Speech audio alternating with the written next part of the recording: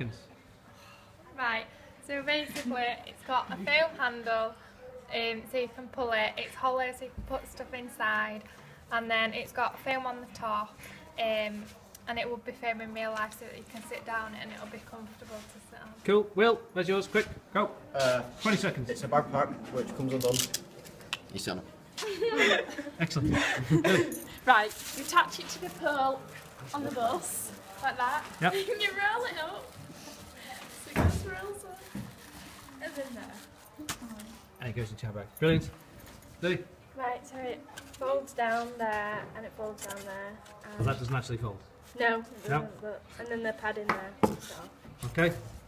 Ellie? It's a backpack that folds up so you can carry it and then falls back down. And what's that on the side? A phone holder. Oh, phone holder. Brilliant. Georgie? It's detachable here, so you can like hook it onto your backpack, and then this closes up from Alright. there. Now do you sit on it? Look at Sit on that. it. It even works as well. Fantastic. Charlie? Uh, like, it don't really work, but oh no, I've broken it. So where did you where do you get the mechanism idea from? From a It's a like an ironing board slider thing. right, you're really So you're really flat. selling this to me, Charlie. Really selling me this. Is that it? Yeah. No, love it. Sorry. Okay, so it's like a backpack you can hook on and then oh god this is bloody fiddly. And then you hook it onto like, you know, the handle rails in the um, bus. And then you just like that, falls down and then you pull these out and then it supports it underneath and then you've got foam padding which is represented by the blue and then it's sat up there and then you just fold it up again. And away you go. Fantastic. Hattie? Um, this got foam here for like comfort, and then that bit like comes off there, and then it folds together, and you can take it with you. Okay, how's it fold? Is that how it folds? Folds flat like yeah, that it one? folds flat, and you just hold it like. Oh!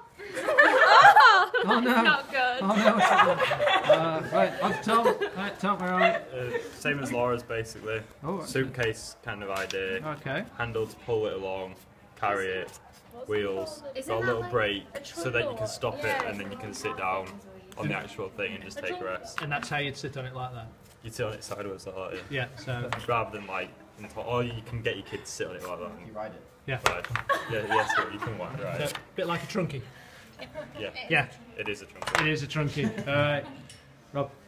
Oh god. Um, basically, uh, detachable here and here with this on, and then put that with that, you know, top there, with uh, two pegs and headrest and leg rest, so it turns into a backpack.